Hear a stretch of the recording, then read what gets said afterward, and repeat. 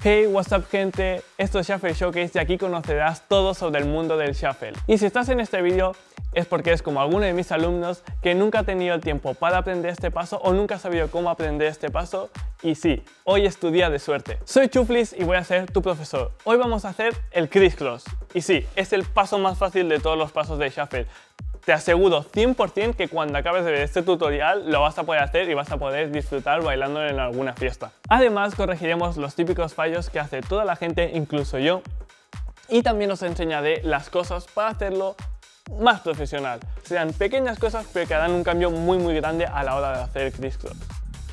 Sin más dilación, no, antes voy a deciros una cosa, vais a tener un regalo dentro del vídeo, sí, vais a tener un regalo, va a estar por ahí, no os voy a avisar cuándo, va a estar, o sea que iros estando atento porque a lo mejor hago así mientras estoy haciendo un paso y os lo pongo ahí y no lo sabréis, o sea que estáis atentos a todo el vídeo y ahí lo dejo.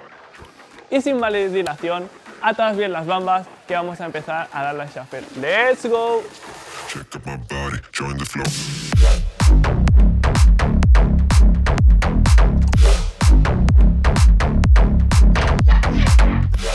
Ok, empezamos con el paso más fácil de Shuffle. El paso más fácil es este, el crisscross.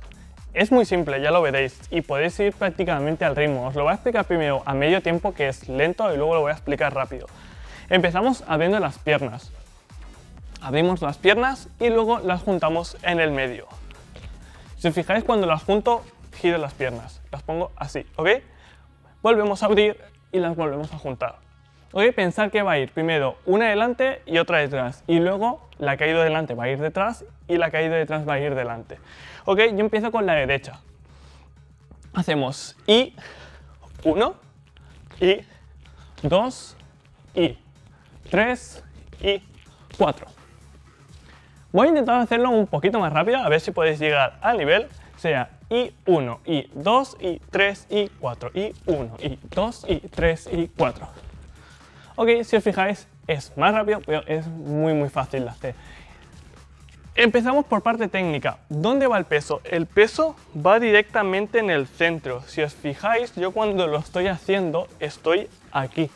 No me voy hacia ningún lado. Por lo tanto, cuando hagáis el crisscross, simplemente tenéis que manteneros en el mismo sitio. ¿Ok? Segunda parte, muy, muy importante. Es hacer modo espejo. ¿Qué significa? Que lo que me hace una pierna me la hace el otro en el otro lado, ¿vale? Si os fijáis, tenemos un espejo aquí. Es como si nos pusieran un espejo aquí. Hace lo mismo, pero reflectado hacia el otro lado. Y lo mismo aquí, aquí. ¿Ok? Si os fijáis, es un paso que no requiere para nada, para nada de algo muy, muy técnico. Simplemente es el saltar, saltar pequeñito y el poner el footwork cuando estamos cayendo en el suelo. Ok, ahora os voy a enseñar los tres errores básicos que tiene este paso y son errores muy muy tontos pero que el 80% de la mayoría comete.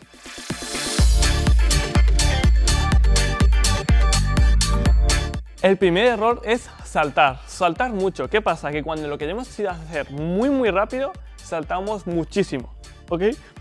¿Qué pasa? Si saltas mucho, fijaros lo que pasa. ¿Veis? Tardo muchísimo en caer, ¿sí? No tenéis que saltar tanto. Al final y al cabo es hacer un pequeño hopping. Ahora os voy a enseñar un ejercicio en el cual yo entreno para conseguir la máxima velocidad posible. El ejercicio es, os ponéis en abertura normal de piernas, que sea cómodo, y dais botecitos muy muy pequeños. Empezáis haciéndolo muy muy a poco a poco, a poco tiempo, y luego vais subiendo el nivel, ¿ok? Empezamos así, y cada vez aumentamos el tempo.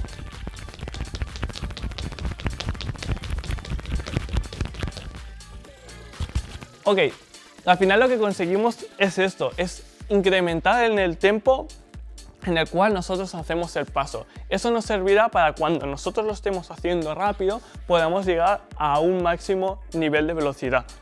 Fijaros la diferencia Si salto mucho, se hace muy lento, en cambio si salto poquito, si salto poquito voy muy muy muy rápido. Ok, segundo, abrir mucho. ¿Vale? Hay uno de los problemas muy grandes que es que Cuando yo digo descansar, digo descansar y hace la gente. ¿Vale? No, cuando descansamos tiene que ser una posición normal del cuerpo. Para mí una posición correcta sería a la altura de los codos, que no abráis mucho más de la altura de los codos. Si abrís más, os va a costar mucho más hacerlo. ¿Vale? Que hay mucha gente que lo suele hacer muy muy grande. Si os fijáis, contra más abro y más cruzo, lo hago mucho más lento. si quiero ir muy rápido así, me va a costar muchísimo porque tengo que gastar muchísima energía. Por lo tanto, cuando estemos empezando, lo vamos a abrir poquito. Altura de los codos, posición normal del cuerpo y abrimos poquito. Muy, muy, muy poquito. Y tercera y última, el no ir hacia un lado o hacia el otro, el tener la simetría en el medio. Hay mucha gente cuando está haciendo el crisscross, hace el crisscross pero se va como a esa pierna, hace como a lo... Hace... Ok, no, al final lo que estamos buscando es una simetría completa del cuerpo. No vayáis hacia esa pierna, sino que podéis utilizar esto, os ponéis así y cuando crucéis, las pies tienen que ir al centro donde están las manos. Por lo tanto, podéis hacer el paso pero si os fijáis, el medio siempre está aquí. Ok, y ahora ya empezamos a ponerle nivel y velocidad al paso. Si os fijáis, el nivel y la velocidad vais a empezar con muy muy poco y vais a acabar yendo muy muy rápido porque de verdad es muy sencillo hacerlo gracias al hopping. Ok, empezamos. Voy a empezar a hacerlo cuatro lentos para que tengamos la técnica bien. Sería I, 1, I, 2, I, 3, y 4 y vamos a hacerlo 8 rápidos, ¿vale? Sería y 1, y 2, y 3, y 4, y 1, y 2, y 3, y 4. Cogemos aire y empezamos.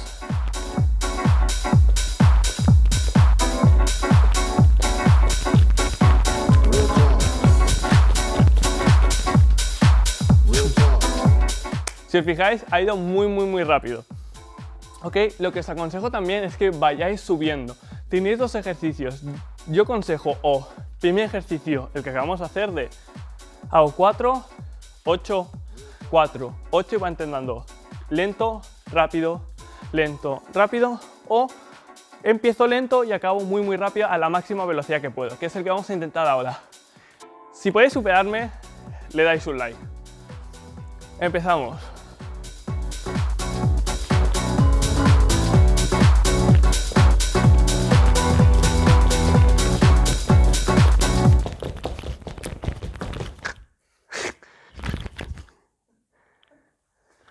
¡Pum! ¿Me habéis superado? Espero que sí. Dropead un like al comentario. Ay, dropead un like al comentario.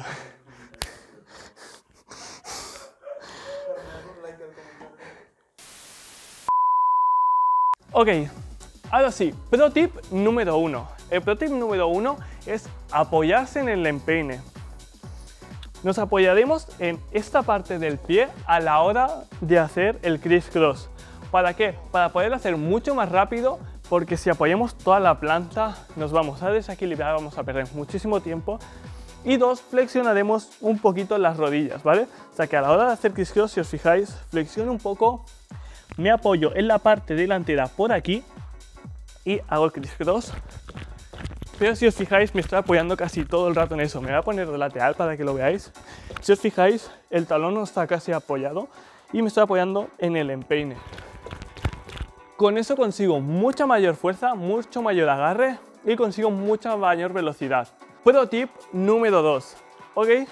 El pro tip número 2, espera, espera, que me llaman, ¿eh? Espera, espera, espera, espera, espera. Hola. ¿Sí? ¿El regalo? Vale, vale, ok. Sí, sí, sí. Que sí, que ahora lo explico. Ok, eh, me dicen que tenéis un regalo aquí. ¿Vale? Si no está aquí, está aquí abajo. Es por tiempo limitado, o sea que vigilar porque a lo mejor ya no está.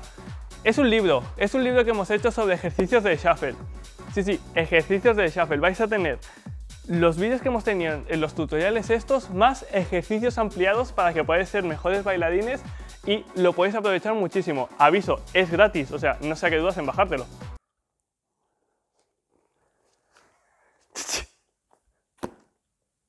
Suscríbete o vas a patillazo soy tu madre, pero esta, esta es una Air Force, ¿eh? Esta pica, ¿eh? Suscríbete. Hola, soy Marvic, estoy aquí editando el tutorial y por lo poco que le queda, le quedan ya un par de minutos al vídeo, vamos a dejar que Jublis termine el tutorial. Eso sí, no va a volver al canal, no lo volveréis a ver, así que disfrutad de los últimos dos minutos de Jublis. Os dejo con el final del vídeo. Y el último pro tip es... Cruzar hacer el footwork. Vale, tendría que haberlo despedido. Quedaos hasta el final del vídeo porque hay una toma falsa que es bastante divertida. Sí, como has escuchado mal, es cruzar hacer el footwork. ¿Qué significa? que nos vamos a poner así abiertos y normalmente cuando haces un crisscross sueles acabar en esta posición. Si os fijáis, los pies están casi paralelos una a otra. Vamos a cruzarlo un poquito más, vamos a exagerarlo un poquito más, por lo tanto cuando lo hagamos lo exageramos para que haya como un hueco en el medio. Si os fijáis, aquí tenemos un hueco, tanto para un lado como para otro. Si os fijáis, la diferencia es esta. Este sería el normal y este sería el pero si os fijáis lo cruzo para dejar un hueco entre medio. Sobre todo es muy importante, cuando tenemos los pies abiertos, si os fijáis, normalmente los tenemos así, ahora los vamos a tener cruzados hacia adentro y cuando los crucemos, los vamos a tener mirando a una distancia que van a estar, en verdad están así, pero van a estar cruzados y vamos a dejar un agujero en medio. Sobre todo intentar eso, que exagere mucho el footwork a la vez que estamos flexionando las rodillas como en el anterior pro tip y haciéndolo muy rápido, pasándolo completamente del eje central, incluso un poquito más. ¿Ok? Voy a hacerlo uno de una forma y otro de la otra forma. El normal sería así. Y el profesional se vería mucho más así.